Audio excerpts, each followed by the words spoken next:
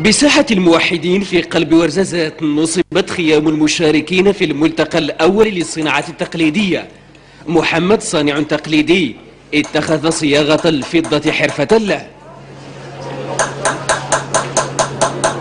أول معرض بالنسبة لمدينة ورزازات اللي فيها تبارك الله عطا الله الحرفيين عندهم ما يتقال. وتنشكرهم على هذه البادرة لأن تحولنا هذه الفرصة هذه باش نبينوا على القدرات ديال الصناعة التقليدية في ورزازات. استفدنا بزاف هذا المعرض واستفدنا بأن زعما كان المنتوج ديالنا تباع وكان كاين تعارف بين الجمعيات واستفدنا بزاف مع الناس وكاين كاين البيع الحمد لله.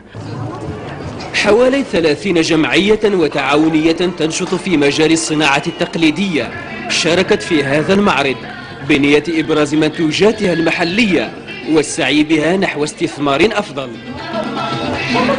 يتخلل هذا الملتقى كذلك ورشات تكوينية وندوات آه، كتصب كلها في صميم الصناعة التقليدية لنهض بهذا الصناعة في في هذه البلاد في ورزازات. خصوصا في ورزازات وفي الاقاليم المجاورة لها. التسويق في هادشي ديال المعارض في هادشي ديال المهرجانات اللي كتكون كتكون موازاة معها. تعطي واحد الدفعة في التسويق والصناع التقليديين باش يتفتح لهم واحد السوق باش يبرهنوا على الكفاءات وعلى القدرات ديالهم. أكثر من أسبوع مدة المعرض فرصة للترويج للمنتوج المحلي للصناعة التقليدية في شتى أنواعها ومناسبة للزوار للتعرف على تراث جهة درعا